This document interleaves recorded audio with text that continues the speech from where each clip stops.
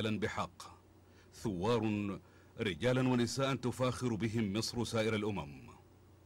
أيها الثوار الأحرار سيروا على درب ثورتكم السلمية البيضاء بثبات كالجبال وبعزائم كالرعود. فثورتكم منصورة في القريب العاجل هذا يقيني في الله. وخلفكم أغلبية ساحقة من الشعب تنتظر منكم أن تهيئوا لها الأجواء الثورية لتسمعوا هديرها المدوي بعد أن أسمعت العالم صمتها الهادر في مسرحية تنصيب قائد الانقلاب التي أرادوا لها شعبا مغيبا فصفعهم بوعيه وأذل ناصيتهم.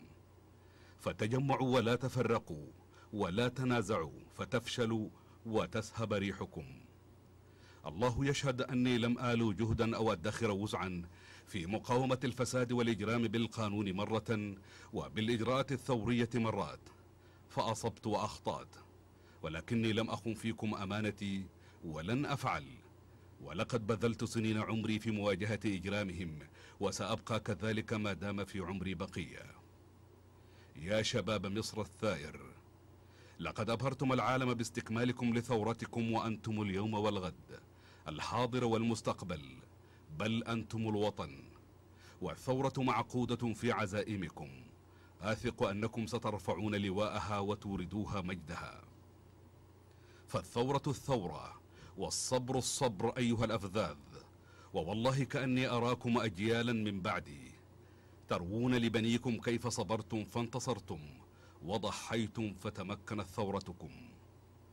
إن كل الشعوب الحرة لم تحترف بهذا النظام الانقلابي المجرم بسبب استمرار الثورة المصريين وتمسكهم بسلميتها المبدعة. ولن يحترف حر في العالم كله بما بني على هذا الباطل من أباطيل. وأخيرا وليس آخرا أقول لشعبي الرائد لتكن عيونكم على ثورتكم وأهدافها السامية ولن تضيع دماء الشهداء ولا أنات الجرحى والمصابين ولا تضحيات المحتقلين أبدا. ما دام للثورة رجال يحملون همها ويرفعون لواءها ويؤمنون بمبادئها ويصطفون حولها حتى تحقق كامل أهدافها. أعلم أن الطريق صعبة لكن أؤمن بأصالة معادنكم وعدالة قضيتكم وأثق في نصر الله عز وجل لكم. بارككم الله لوطنكم وأمتكم ودمتم ثائرين. محمد مرسي رئيس جمهورية مصر العربية.